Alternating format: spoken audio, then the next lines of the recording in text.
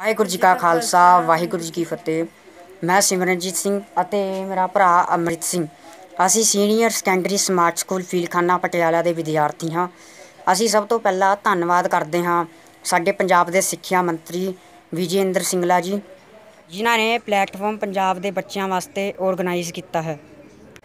ਅਤੇ ਹੁਣ ਅਸੀਂ ਸਾਡੇ ਸਕੂਲ ਦੇ ਸਟੇਟ ਬੋਡੀ ਟੀਚਰ ਪ੍ਰੋਫੈਸਰ ਪ੍ਰਗਟ ਸਿੰਘ ਜੀ ਅਤੇ ਸਾਡੇ ਸਕੂਲ ਦੇ ਪ੍ਰਿੰਸੀਪਲ ਸ਼੍ਰੀਮਾਨ ਕਰਮਜੀਤ ਸਿੰਘ ਜੀ, ਉਹਨਾਂ ਦੇ ਨਿਰਦੇਸ਼ ਅਨੁਸਾਰ ਅਸੀਂ ਅੱਜ ਤੁਹਾਡੇ ਸਾਹਮਣੇ ਸਟੱਡ ਅਤੇ ਸੰਗੀਤ ਦੇ ਉੱਤੇ ਕੁਝ ਕੰਪੋਜੀਸ਼ਨਸ ਵਜਾ ਕੇ ਦਿਖਾਵਾਂਗੇ।